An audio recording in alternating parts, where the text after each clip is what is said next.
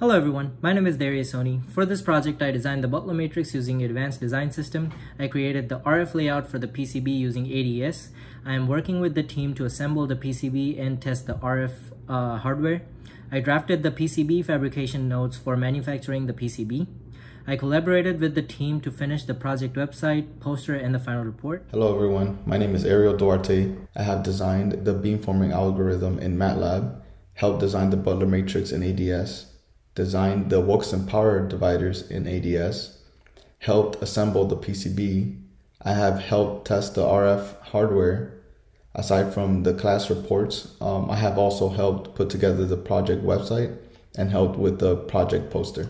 Hello, my name is Trevor Saunders, and uh, I'll be talking about the antenna design, the ADS simulations for the antennas, the transmitter schematic and its layout, and the case we created for the transmitter board in Fusion 360. My name is Ryan Carlomany, and for this project, I designed and built the digital control circuit, tested the digital hardware, and developed the GUI that is hosted on the Raspberry Pi.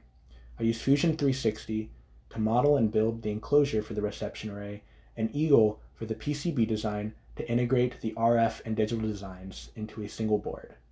I developed the system power requirements and was in charge of procurement and inventory control, while also assisting the team with any RF task as needed.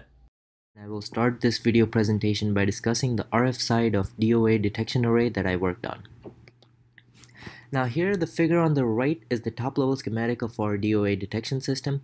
To be able to operate the system at 5.8 GHz, the design uses four 4x4 Butler matrices to implement a 16 element antenna array with four switches, four analog phase shifters, three power dividers, and an RF power detector. The array will steer the antenna's main lobe within the scan range by sequentially going through the phase shifters and switch states. This figure on the left is the Butler matrix as designed in ADS. These are a type of beamforming network that is used to feed a phased array of antenna elements. It is designed using hybrid quadrature couplers, RF crossovers, phase delay lines, and phase matching lines. One thing to note here is that the output ports of the Butler matrices are separated by lambda over 4 to avoid any mutual coupling between the antennas and decrease the number of side lobes. So now going to the component level designs of the Butler matrix, I have designed and optimized each and every component of the matrix to work at 5.8 GHz. Here we can see the schematic for the 90 degree coupler on the left and its simulations on the right. It can be confirmed using the simulations that the coupler's output ports have a 90 degree phase, phase delay within them and has a 3 dB power drop. Similarly, this is the schematic and simulations for the RF crossovers. Each crossover is designed using a combination of two hybrid couplers, and the functionality of them can be verified using the simulation here. If output port 1 is excited and the signal uh, then the signal will pass through the crossover and go to output port 3. Output ports 2 and 4 however will have no uh, will have minimal to no RF signal power. And this is the final RF PCB layout as designed in ADS. Today I will be quickly going over the MATLAB algorithm used to finalize the scanning implementation of our system. Here we have the code used to display how our design will scan based on the number of Butler matrix ports and the number of um, matrices respectively. The other function of this code is to find the states of our phase shifters needed to allow for proper scanning. Each incrementation when scanning requires a different combination of phase shifter states to properly scan towards that direction. We can also find the total uh, array factor of the system, which in turn will allow us to visually map how the system will, will electronically scan. Uh, we'll see this in the next few slides. Each port of the Butler matrix exhibits a certain beta S, um, the phase progression of the Butler matrix ports. Exciting a different port will give you a different value for beta S. When scanning for a desired angle, one must decide on the state of the phase shifters.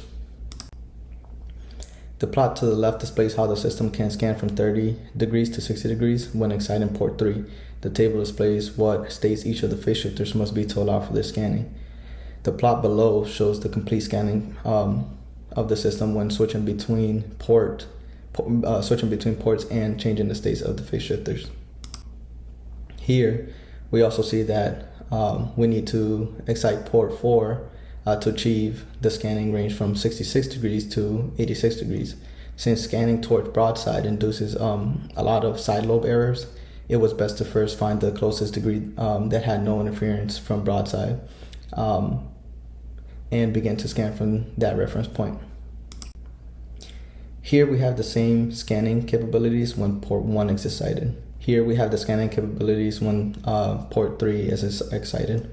And uh, this here, um, this plot gives a visual aid to help see what scanning uh, location the system can achieve and where potential misreadings can occur. Now we are looking at the schematic of the transmitter. Uh, the main components to focus on are the VCO and the amplifier. The VCO has a um, it's fed 4.8 volts through a potentiometer, and then this gives it a 5.8 uh, gigahertz signal straight into the amplifier, which then feeds into the antenna. Uh, we will now be looking at the ADS simulations for the antenna. Uh, what we have here is the transmitter antenna and the radiation pattern. If you look over here, we can see the gain 15.3, the radiation efficiency 71%, and other parameters right here like the directivity and the electric field and magnetic field intensities. We can see here finally how the antennas are spaced out to avoid the grating lobes and also optimize for mutual coupling. So now we're going to look at a 3D model of the case that was designed in 3, Fusion 360 for the transmitter board.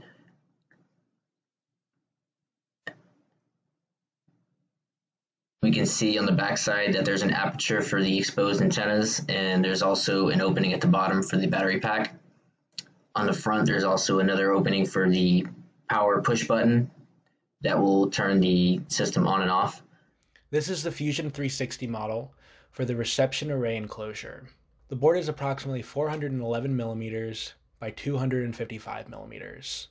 An acrylic cover with a hinge will be used so that the power supply and wiring connections are easily accessible. On the back of the PCB and on the front of the enclosure for the reception array, we see an array of antennas, which will face the users holding transmitters in the classroom so that we can receive transmitting signals. On the left of the enclosure is a 50 watt Meanwell power supply, which will be used to power all the components on the PCB. This is the test circuit that we currently have for the project.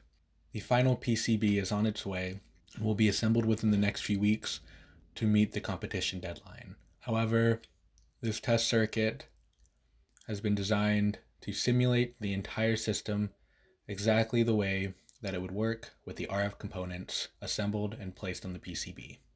On the left side of the board, we see the logic conversion circuits and the regulator that is used to distribute power on the board. We also see the analog to digital converter circuit on the left side, which has a potentiometer going into it, which simulates the RF power that would go into the ADC and be converted for processing. A Raspberry Pi Zero is used to control and simulate the entire system, as seen in the middle. On the right side of the board, we have the four shift registers that will be used in the final design, and the LEDs indicating the digital values that will be sent to the phase shifters to provide a specific phase shift for the RF signal. Further to the right, we see a series of NAND gates, which are used as a 2 to 4 decoder that simulates the switch operation. While all that is shown to display the operation of the RF components, the GUI that is hosted on the Raspberry Pi is shown here. By using a random walk, I was able to simulate a group of three users moving throughout a classroom while holding the transmitting units. Due to heavy processing from the function used in the matplotlib library, it takes about a second to update the user's location. In the event that a user turns away or is too far from the receiving array, the user will no longer be visible on the GUI. This can be simulated by turning the potentiometer value below the threshold value set for the program. Since I'm only using one potentiometer for all the power levels of the three users, by turning the potentiometer down, we can see that none of the users are displayed on the GUI. Then by simply turning the potentiometer back up to a value above the threshold, we can simulate the users are in range and are facing the antenna array. To add this functionality, I added in a transistor to this test circuit that would only allow power to flow during the desired scan angles. This transistor is not included in the final design because it is only used to help simulate the RF components. Once the RF components are fully assembled onto the PCB, this feature is no longer needed.